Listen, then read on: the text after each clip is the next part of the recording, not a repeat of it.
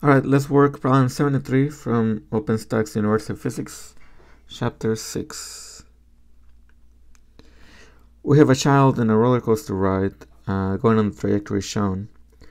Uh, with, we are asked to find the force of the car seat on the child at point A. So, at point A, the child will be here and it will be experiencing a centripetal force that is equal to mv squared over r. Now that centripetal force is going to be made up of two parts. One of them is going to be the force due to gravity.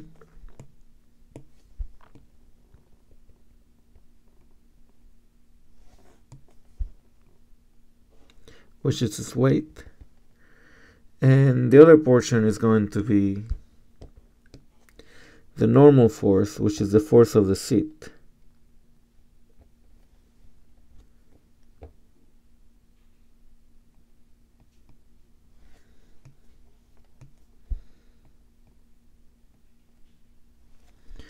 It is that normal force that we are asked to find out. So, let's put those things together. So for part A, we know that mv squared over r has to be equal to the sum of the normal force plus the weight. Now we know what the weight is, which is mg.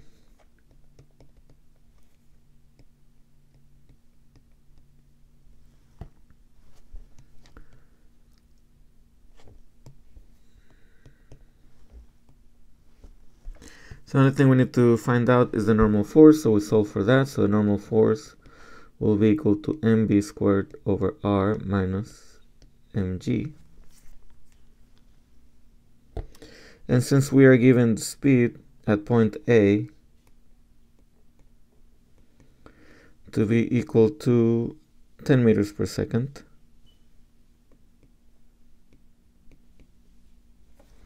and we're given the mass of the child to be 40 kilograms. We also know g to be 9.8 meters per second squared.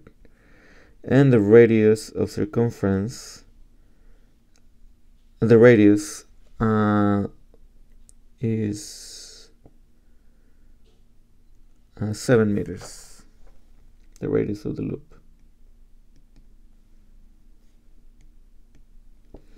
we can put all of that stuff in our um, equation.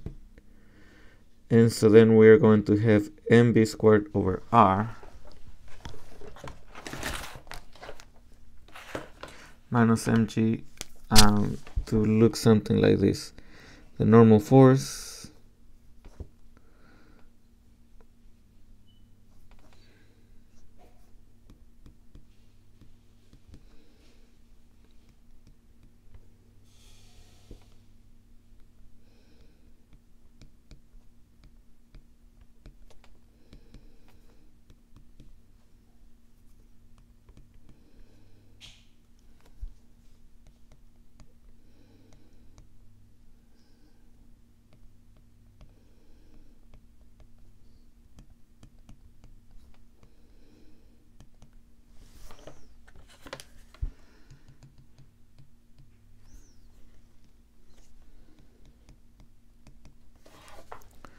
Let's put that on the calculator.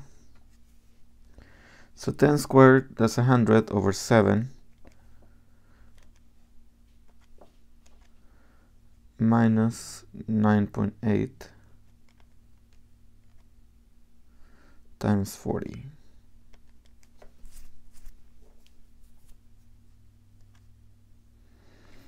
That's equal to 180 newtons basically. I got 179.43.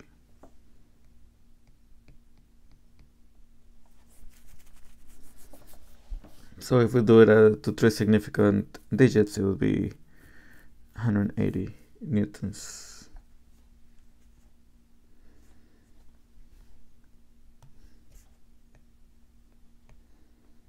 I guess I can do that now.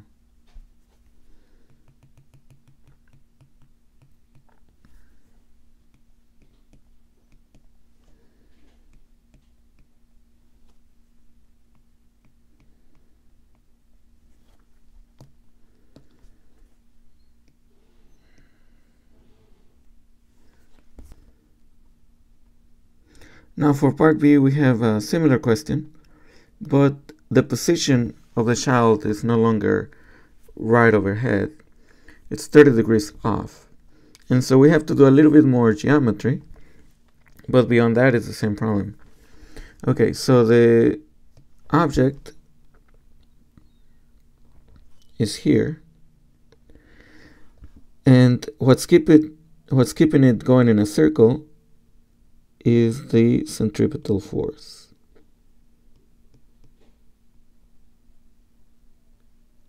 Now that centripetal force is again made up by a combination of the gravitational force and the normal force.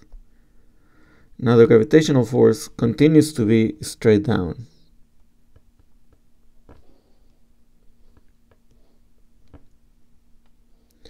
And the normal force continues to be towards a center.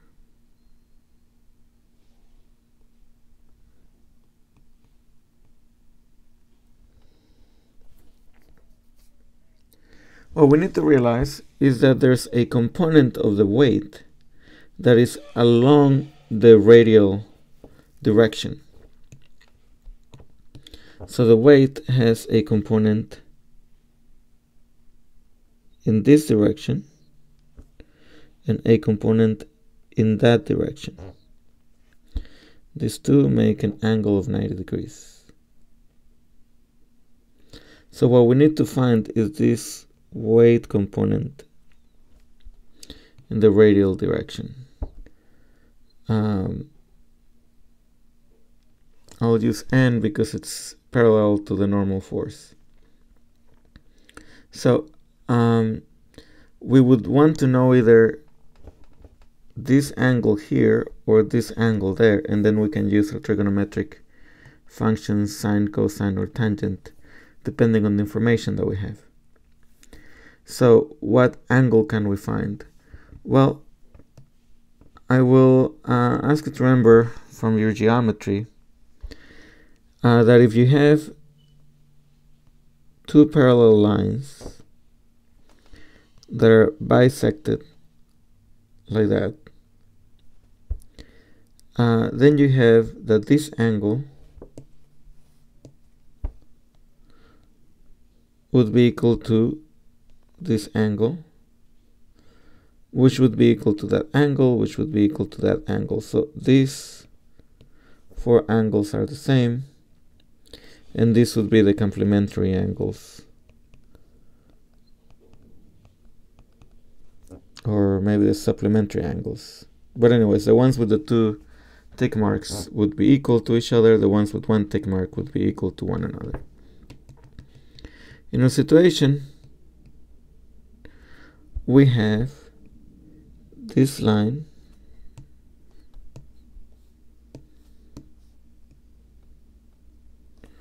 And this line are parallel.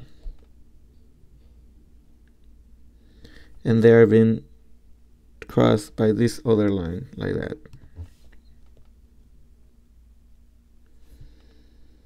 so if this is 30 degrees then this has to be 30 degrees there.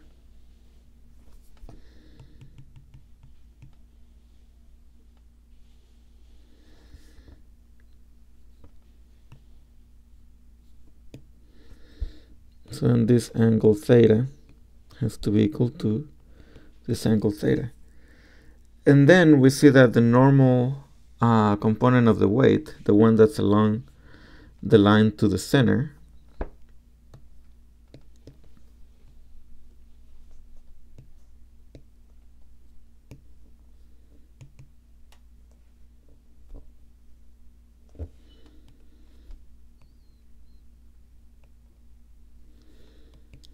has to be equal to the cosine of theta times w because w is the hypotenuse this side along the um, along the radius would be the side that is adjacent to theta and so then we have cosine of theta is equal to the adjacent side wn over the hypotenuse, which is the weight.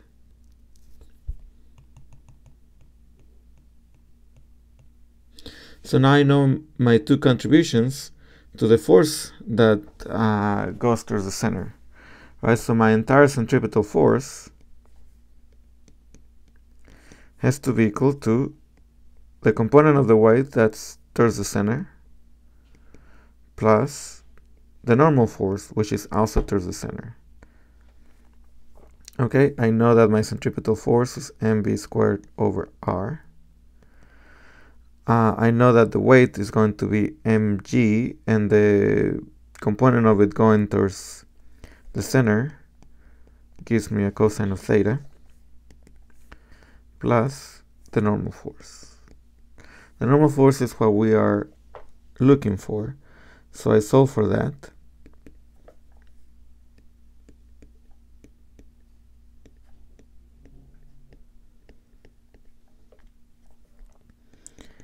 And the problem is basically done.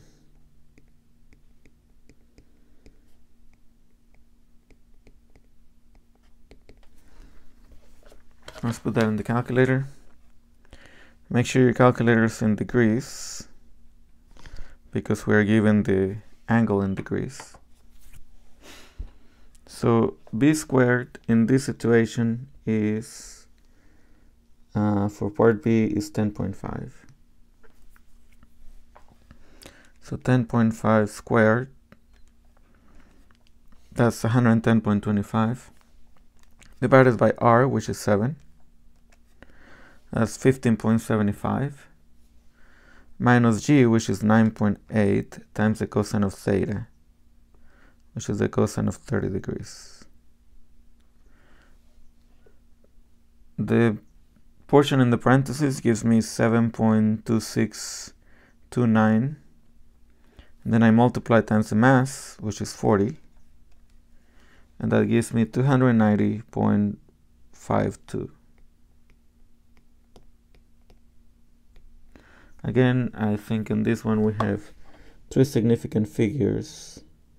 So your answer will be 291. Um, for part C, what minimum speed is required to keep the child in his seat at point A. So if we're looking at point A, I know that the minimum speed that um, that is required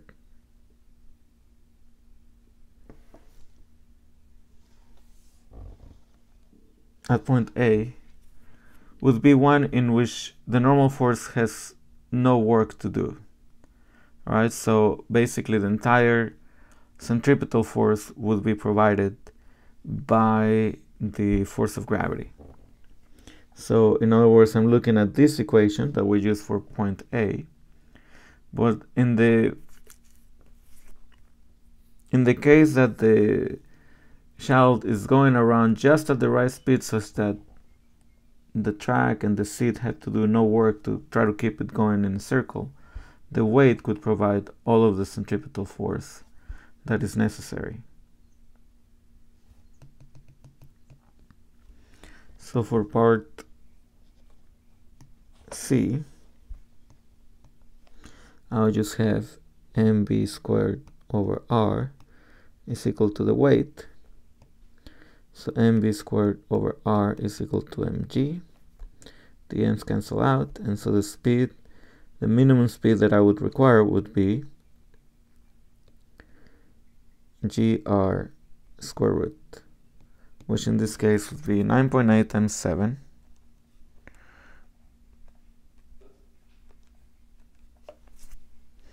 which is 68.6 and then I take the square root of that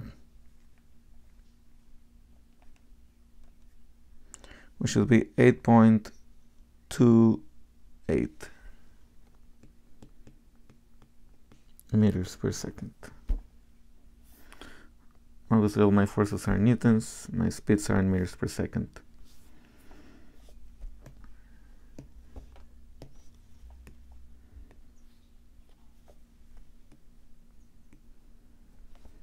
Alright, I hope you found that useful.